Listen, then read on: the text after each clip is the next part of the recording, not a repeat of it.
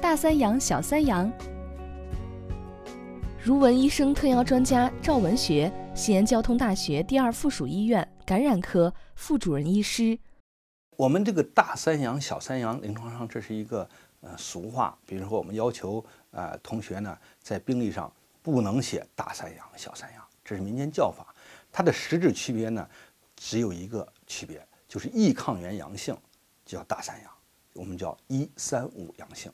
但是排列顺序，第一个一定表现抗原，第三个是易抗原啊，第五个是核心抗体。小三阳呢，我们就说易抗原阴性。易抗体出现阳性，这叫标准的小三阳。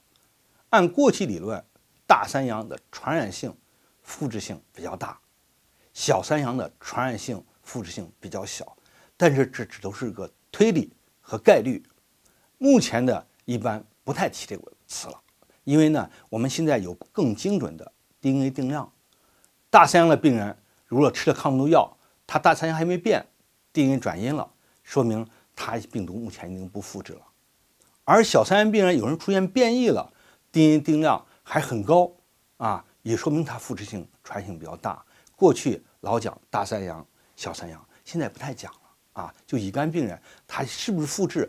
就不管大三阳、小三阳，都是乙肝，复制不复制拿地音定量讲，不再说大三阳、小三阳。这是民间还这样说啊，给大家强调一下。